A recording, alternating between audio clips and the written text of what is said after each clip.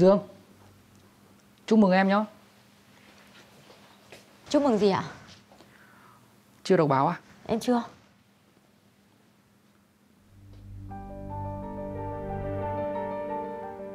Cái này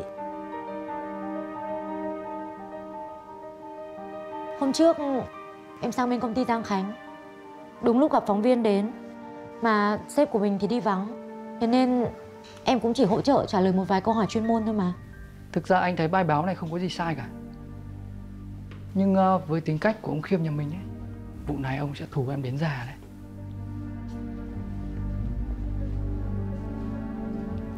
Chị ơi Ông Lộc này đúng là xấu tính mà.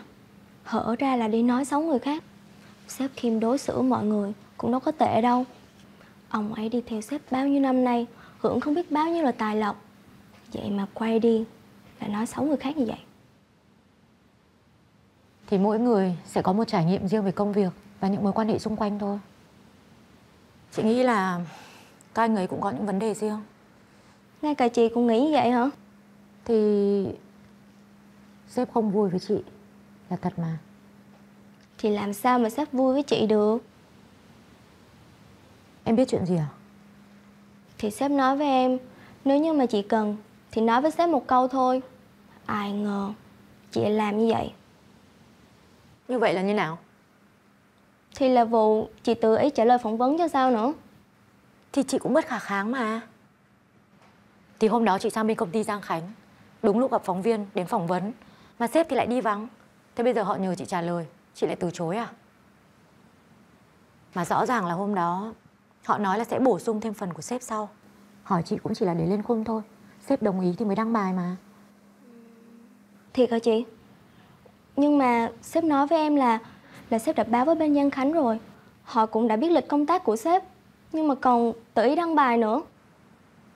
Mà quan trọng nhất là tất cả mọi thứ đều là do anh Lâm sắp xếp hết. Có khi nào là do anh Lâm cố tình không ta? Chứ không thể nào mà mọi thứ lại tình cờ đến như vậy được. Mà thực ra thì sếp nghi ngờ cũng là có cơ sở mà. Vốn vậy thì chị với anh Lâm cũng khá là thân thiết với nhau còn gì.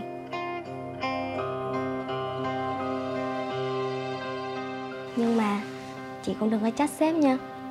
Anh ấy rơi vào tình huống như vậy Cũng khó mà làm khác được lắm. À, lúc nãy sếp gọi cho em Bảo là sẽ đổi tên bản thiết kế Thành tên của sếp và của chị Không còn để tên là nhóm thiết kế Gia Kim nữa. Sếp buồn chị lắm. Cảm giác như là mình làm việc tốt Mà bị hoài nghi vậy á.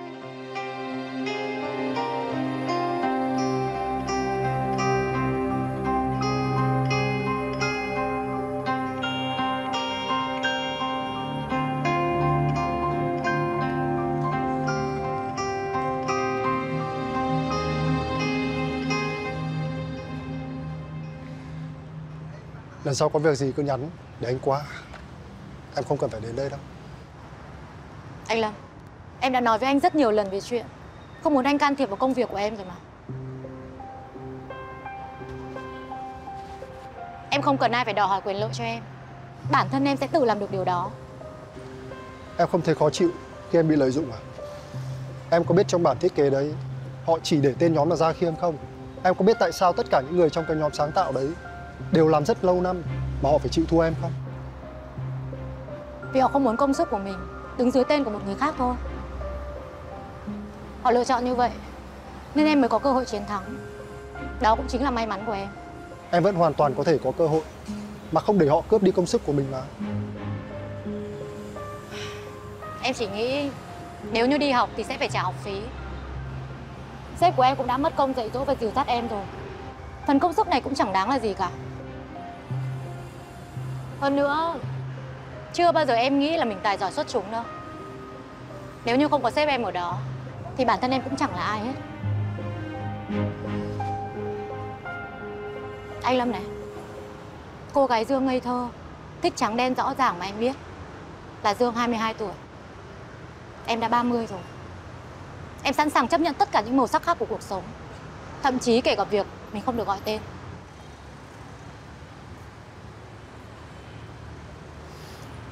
Đúng Nhưng em cũng đừng nghĩ là anh làm tất cả mọi việc là vì em. Em có suy nghĩ của em. Còn anh có mục đích riêng của anh mà.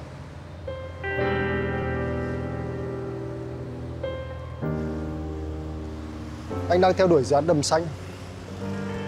Và để đảm bảo cho tương lai của dự án, anh muốn thành lập một team thiết kế do chính tay anh bồi dưỡng. Và tất nhiên là ông Khiêm không nằm trong lựa chọn của anh. Em cũng đừng nghĩ là anh nhắm vào em. tim đấy anh đòi hỏi cao lắm. Đơn giản là anh muốn loại dần ông Khiêm ra khỏi cuộc chơi.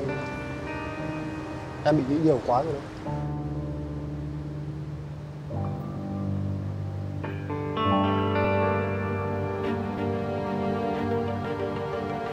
Vâng Vậy thì em xin lỗi có lẽ là em đang nghĩ nhiều rồi. Em về đây.